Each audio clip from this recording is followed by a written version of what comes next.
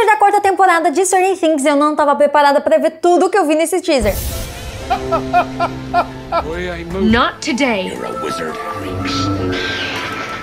Avengers!